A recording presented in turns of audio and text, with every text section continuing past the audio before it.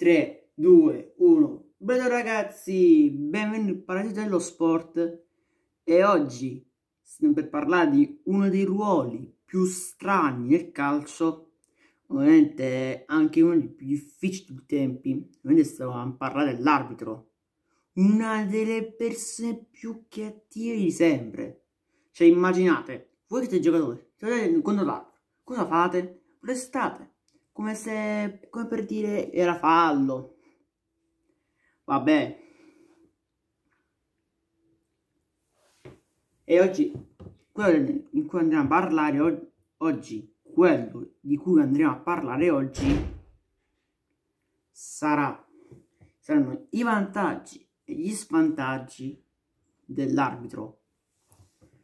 Allora, prima di cominciare, Beh, tutti i tifosi avversari devono smettere di sta cosa che la Juve si convaliata, la, la devono smettere. La deve smettere proprio. Sta cosa, già sta cosa non mi piace, sta cosa. Non mi piace per niente. Juve, e tifo la Juve. Ma non significa che devi insultare a me ogni, ogni volta, cioè...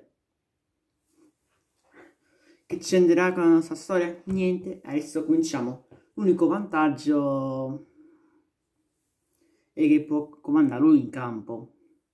Non, non comanda i giocatori, ma comanda l'arbitro in campo. Anzi, secondo vantaggio, ed è, è, questa, questo vantaggio è una regola che tanti anni fa valeva. Cioè, quando, quando la palla tocca l'arbitro, di testa, di piede, il gol veniva convalidato. Adesso non funziona più sta cosa.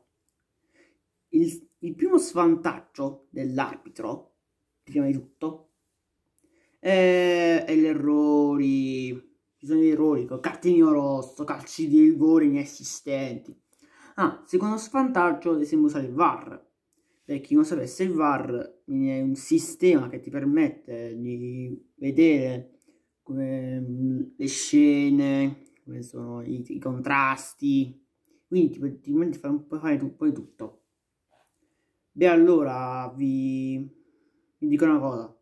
C'è sta cosa, io contro il VAR, io sono contro il VAR, secondo me, eh. Veramente. Sarà una cosa fastidiosa, ma il VAR ogni volta non cambia mai.